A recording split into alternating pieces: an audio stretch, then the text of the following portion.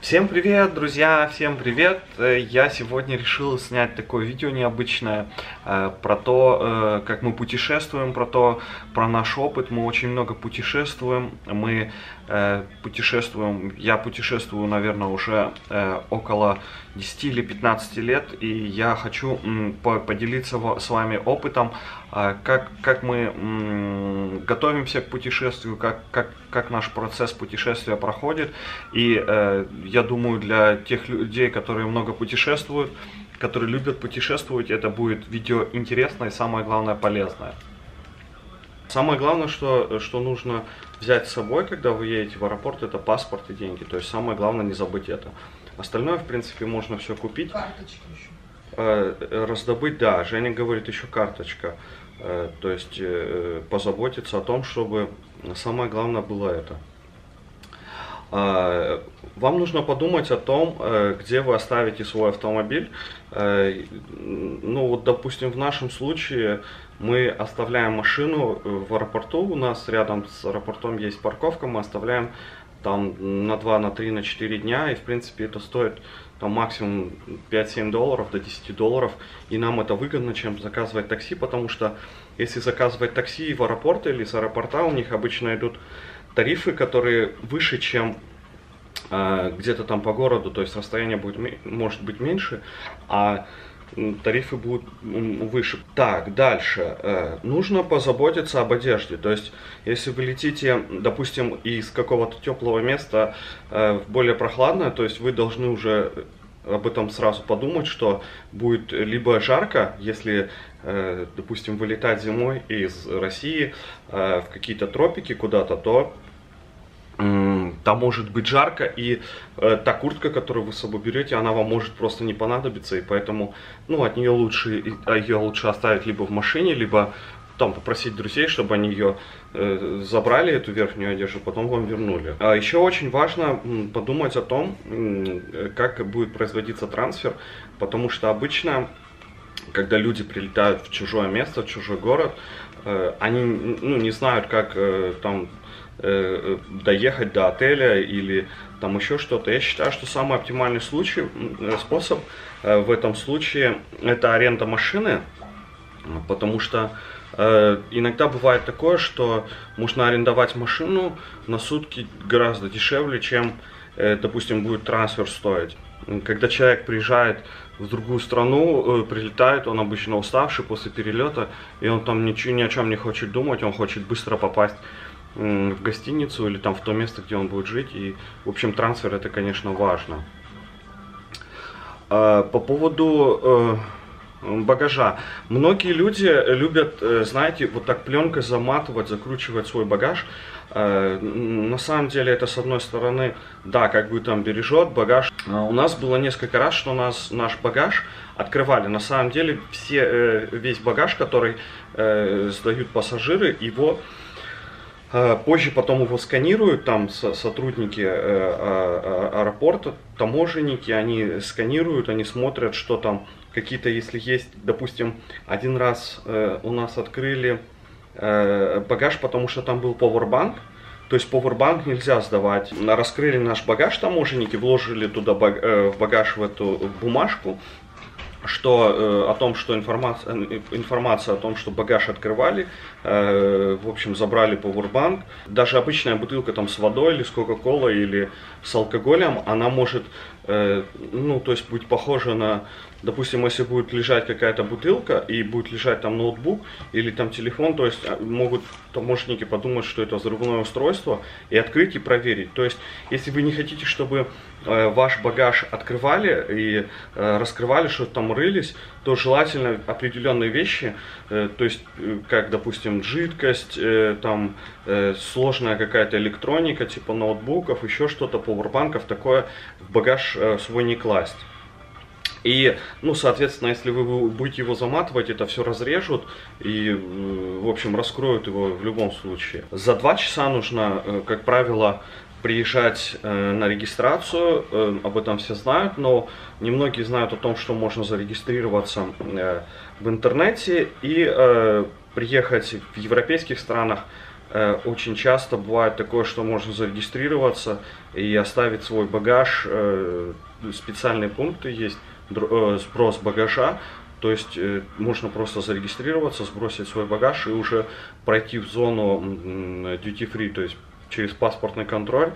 И еще э, существуют э, такие авиакомпании, я сейчас заметил, по-моему, украинские авиалинии стали взимать плату, то есть они стали продавать билеты дешевле и стали взимать плату за регистрацию, то есть именно каждая авиакомпания, она платит сотрудникам аэропорта э, э, какие-то деньги за то, что они регистрируют пассажиров и Э, в общем, они это исключили из билета, и э, э, если вы, допустим, не зарегистрируетесь на багаж, не зарегистрируетесь на рейс онлайн, то с вас будет дополнительно взиматься определенная сумма.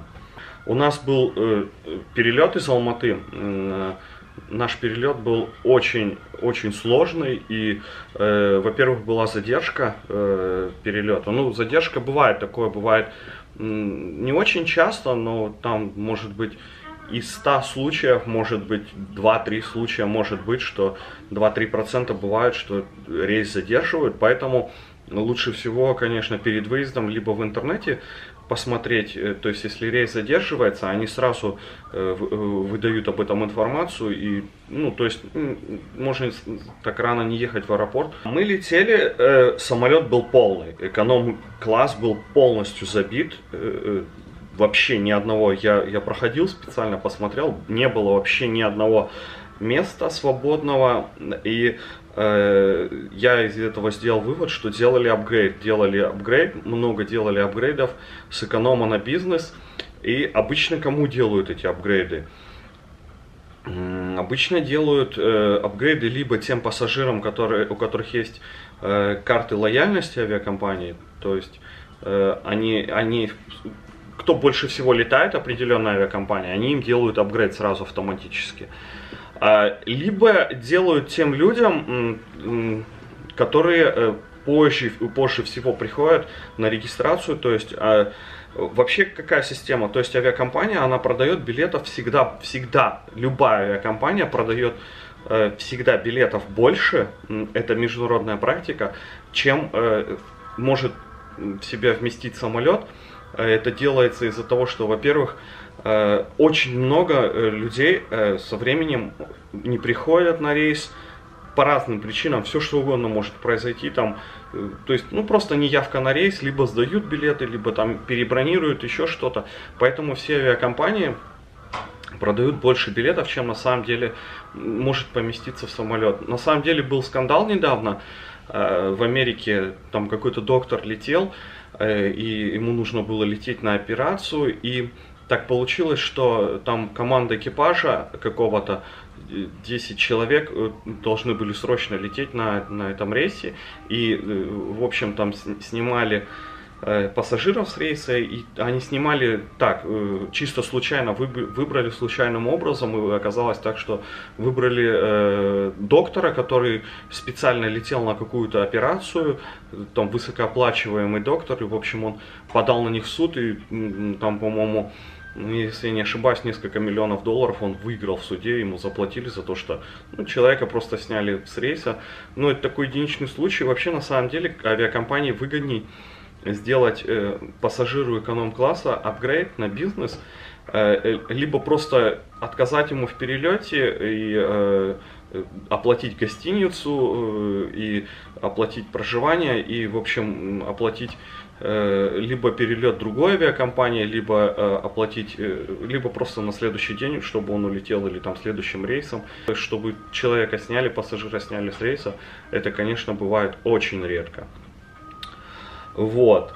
Какой вывод мы сегодня сделали? То есть мы, когда пришли на регистрацию, не было мест, пассажиры предварительно уже зарегистрировались, и не было мест таких, чтобы мы сидели с Женей рядом вдвоем. Э, Жене дали, уже дали, Аэрофлот продает места повышенной комфортности, там от 20 до 60 евро они стоят в зависимости от рейса. Нам сказали 40 евро стоит, но они уже были заняты, и Жене, получается, сделали апгрейд. Ей дали э, место повышенной комфортности, там место больше для, для ног возле аварийного выхода. и, в общем, она летела там, а я летел в другом месте. Потому что люди зарегистрировались, предварительно выбрали э, хорошие места. Хорошие места в самолете считается это либо возле прохода, либо в конце самолета. По статистике самые безопасные э, места в самолете это в конце самолета. Происходят э, авиакатастрофы, все об этом знают. И э, самые безопасные, э, то есть в этих катастрофах э, выживают люди. Бывает, что э, по статистике выживают люди, и самые безопасные места это в конце самолета. Кто много летает, они уже сразу все эти места разбирают. Либо в конце самолета, в, либо возле прохода. В конце самолета еще м- интересно лететь, когда самолет пустой. То есть э, уже видно сразу, если, допустим, я в конце самолета сижу, я уже... Э, мы вообще обычно приходим самые последние на посадку, то есть уже самый последний в самолет заходим, и мы уже смотрим, где свободные места, и э, либо мы туда сразу садимся, то есть э, мы можем сразу, допустим, там, в эконом-классе три места занять каждый, и если перелет долгий, мы можем просто лежать там и спать, наслаждаться. Э, на данном рейсе, где мы сегодня летели, не было мест вообще. Свободных в эконом-классе не было вообще. То есть за мою практику, сколько, 10-15 лет мы уже летаем, мы очень часто летаем, очень много, я такого не видел никогда. Ни, ни разу в жизни не было такого, чтобы самолет эконом-класс был полностью забит. А, и э, я сделал вывод такой, что если бы мы пришли бы самые последние на регистрацию, самые последние, вот уже за 40 минут там до вылета вот закрывается регистрация, там за 50. Если бы мы пришли бы самые последние бы, в любом случае нам бы дали апгрейд, потому что ну, нам бы э, дали либо бизнес-класс, либо нам бы просто отказали бы в перелете. Но я, я считаю, что, скорее всего, нам бы дали апгрейд на бизнес. И поэтому, если вы видите, что билеты дорогие, а э, э, Почему так? Почему мы в такой ситуации не бываем? Потому что мы обычно смотрим, то есть если это легко проверить, если билет дорогой, мы обычно не покупаем дорогие тарифы, мы, мы там выбираем какие-то дни с датами, играем и дату вылета, дату прилета. Если менять, допустим, там даже на один день цена в два раза может отличаться. И, э, э, в общем, так получилось, что с нами летела команда в этот раз, э, футбольная команда, футбольный тим, там около, ну, наверное, 30 человек летело, и поэтому они большую часть самолета заняли, и, в общем, там у них овербукинг оказался, то есть, э, ну, такая ситуация, которую авиакомпания не любит. Это для них, конечно, хорошо, что много пассажиров, все, но конечно, для членов, для, экипажа это, это большая головная боль. Если вы видите, что вам, вы летите, вы покупаете билет дорогой, и вам нужно лететь по-любому, и вы видите, что он дорогой, то, скорее всего, 90%, что там будет пере, э, переполнен самолет. И э, какой вывод, что нужно нужно либо э, заранее занимать места, э, там рядышком, как вы хотите сидеть, либо приходить самыми последними на, на регистрацию, самыми последними прям, прям перед закрытием, и очень высокий шанс, что сделают апгрейд на бизнес по багажу, то есть по ручной клади и по, по багажу э, есть некоторые авиакомпании, которые не включают в тариф перелета багаж, и э, за него либо нужно будет доплачивать, либо доплачивать у всех авиакомпаний разные правила, какие-то авиакомпании два багажа дают, какие-то разрешают 30 провести, которые два, как, какие-то 20, но если они разрешают 20 провести, то там можно 22, в принципе, работники закрывают на это глаза, там 2 килограмма, 10% никакой роли не играет. А, по ручной клади, то есть э, если э, ручная кладь не соответствует размерам, ее не пропустят э, в кабину и нужно будет ее сдавать в багаж и за это доплачивать. Еще есть определенные правила по провозу животных. Это тоже у всех авиакомпаний по-разному нужно уточнять. То есть нельзя просто взять своего котеночка и там, отвезти его как игрушку в другую страну. Там нужно делать прививки, справки собирать.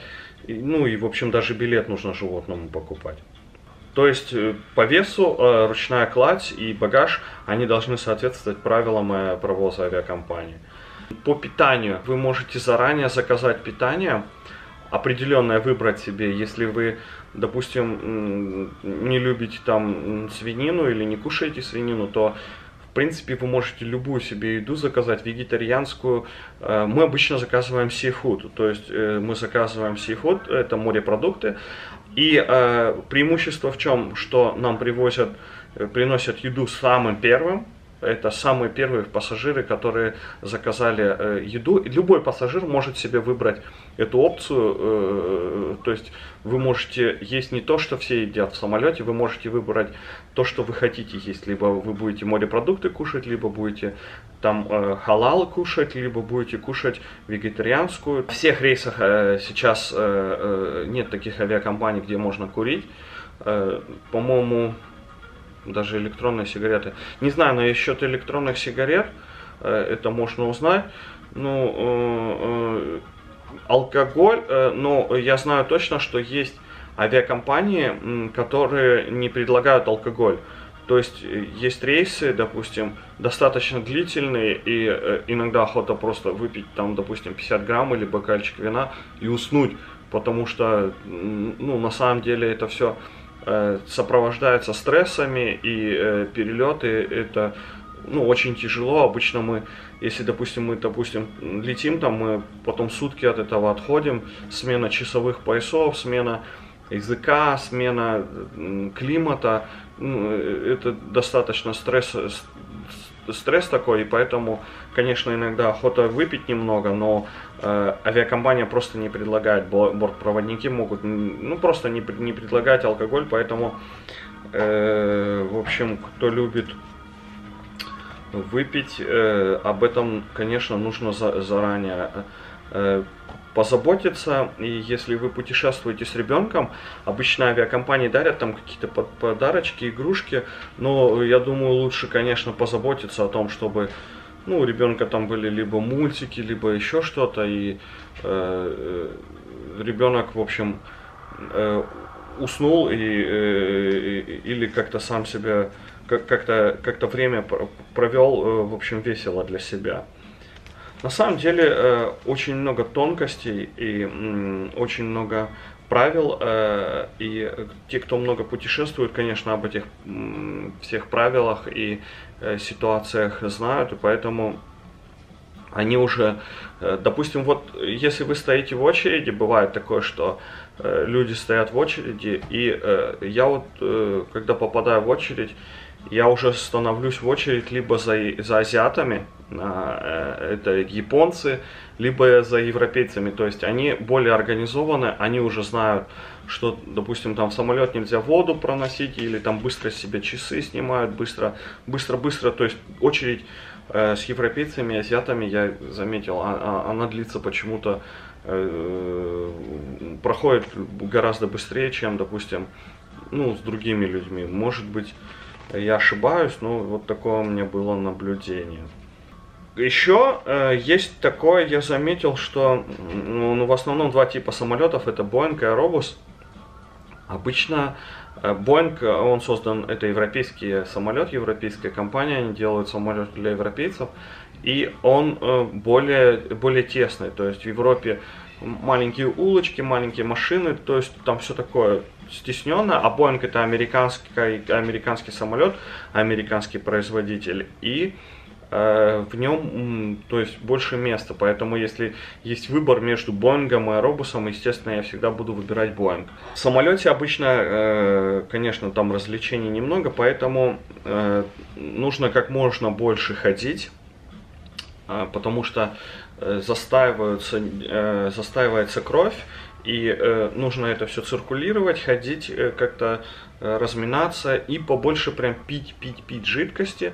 Э, есть кнопка специальная, можно нажать эту кнопку, придет бортпроводник, и в принципе она сделает все, что вы хотите. Она может принести воды, может принести ручку, может принести там э, еды иногда, э, в общем, может забрать у вас что-то, может вам что-то рассказать. Бывают такие случаи, когда люди не знают английского языка и нужно э, заполнять иммиграционную карту. Кстати, э, иммиграционную карту тоже можно попросить у бортпроводников, можно у них попросить ручку, и можно попросить, чтобы они помогли заполнить, перевести, переведет. То есть девочка объяснит, как, куда и что писать. Такое бывает в аэропортах, в аэропортах, что в одном самолете могут встретиться э, люди с э, одинаковыми багажами, э, с одинаковыми сумками. То есть такое бывает, особенно если там какой-то распространенный производитель. У нас сегодня было такое, что мы подумали, что Женин там сумку э, кто-то забрал, на самом деле это была э, не Женина сумка, и, и, и в общем э, нужно проверять бирки багажные, сверять, чтобы ну не этот не э, чужой чужой багаж не забрать и чтобы ну, следить, чтобы ваш багаж тоже никто не, не, не забрал. Э, на паспортном контроле еще важно э, тоже э, занимать очередь. Обычно это несколько линий для граждан тех стран, которые, в которые вы проезжаете, для там еще каких-то граждан. И, в общем, то есть на паспортном контроле тоже нужно определенные места занимать.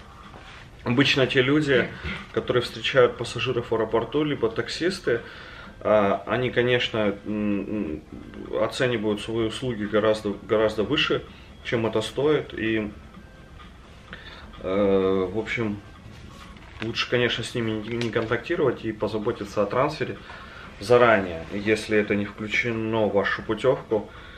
То есть это очень важно, конечно, на самом деле.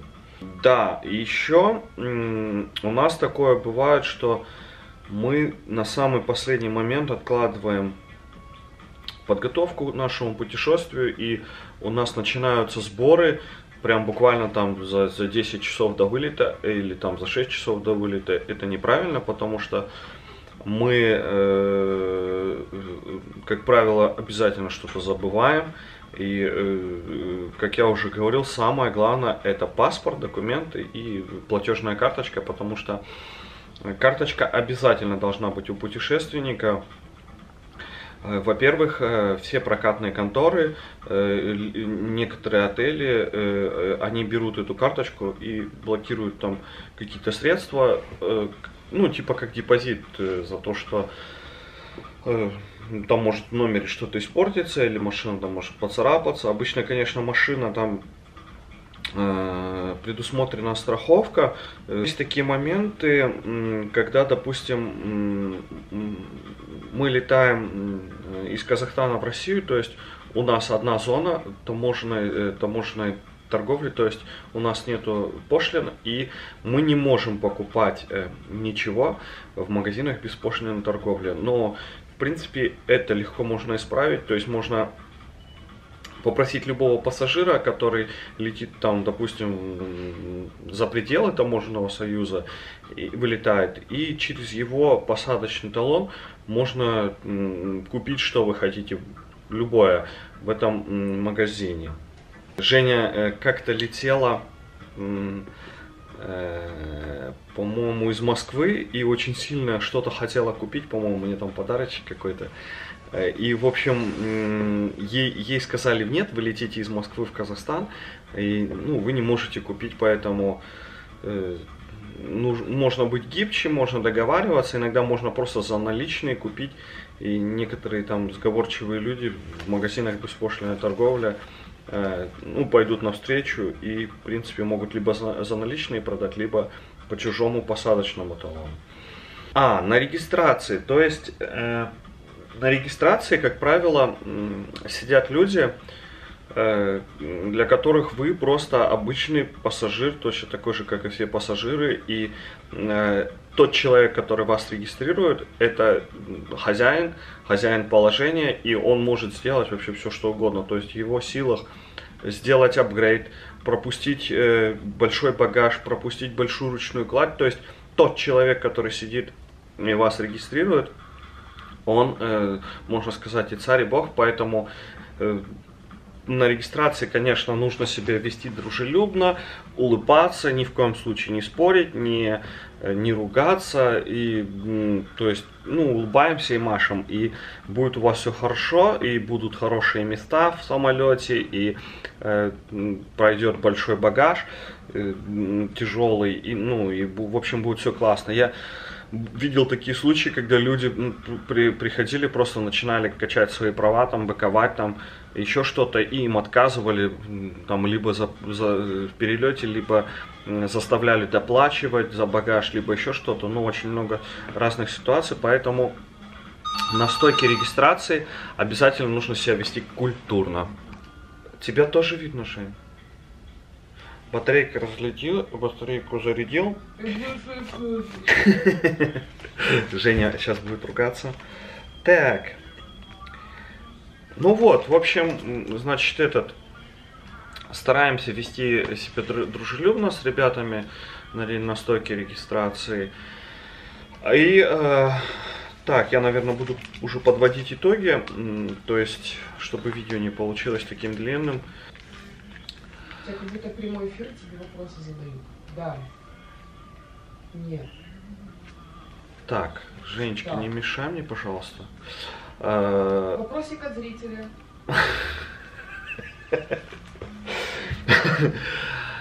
Вот, ну, в общем, подводим итоги, что самое главное, это, конечно, самое главное в путешествии, это не забыть паспорт, деньги и платежные карточки, э, позаботиться о местах в самолете хороших, либо если самолет переполнен, значит, э, прийти на регистрацию позже, чтобы сделали бизнес.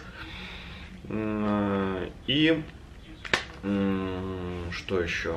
Ну, трансфер, конечно, это тоже важно трансфер или трансфер. Как правильно, я не знаю.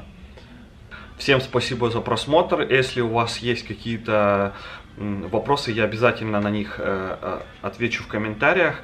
И э, я очень буду рад, если вы это видео... И я очень сильно рад тому, что вы досмотрели это видео до конца. Всем спасибо, всем приятных путешествий. Пока-пока.